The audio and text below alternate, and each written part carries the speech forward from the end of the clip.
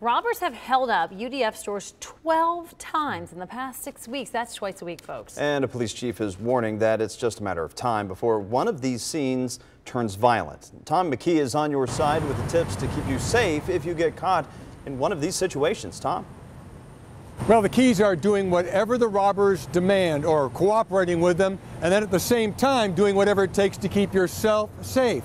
Now, the robberies have happened twice at store number one here in Norwood, along with Elmwood Place and Mount Healthy, plus the Cincinnati neighborhoods of Westwood and Oakley and Pleasant Ridge and Carthage. UDF officials, well, they're reviewing all their safety and security policies to try and prevent these from happening again.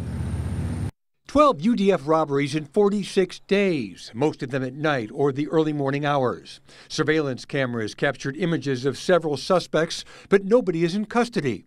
Norwood Police Lieutenant Ron Murphy says robbery squads are working 24 7. It's just a matter of time before uh, it turns violent. It did once in 1992 at the Oakley store, and clerk Francis Messenger was murdered. Cedric Carter was sentenced to death in the killing.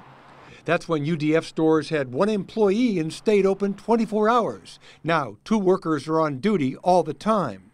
Cincinnati Police Sergeant Eric France says clerks staying safe begins with paying attention. A lot of times these robbers telegraph they're going to come in. They may walk in and out of the store a couple times, or they may be in the parking lot putting on a mask. UDF has 174 stores and 2,400 retail employees who are taught safety first. Offer them whatever they want, encourage them to leave, make them understand the police are on the way and that they should leave immediately and the employee should never leave the store with a robber. If it gets to the point where they're forcing out the door, you need to realize it's not going to end well and you need to do everything in your power to survive. But what if you're a customer? Take care of yourself, get out of the get you and your family out of the store and call 911.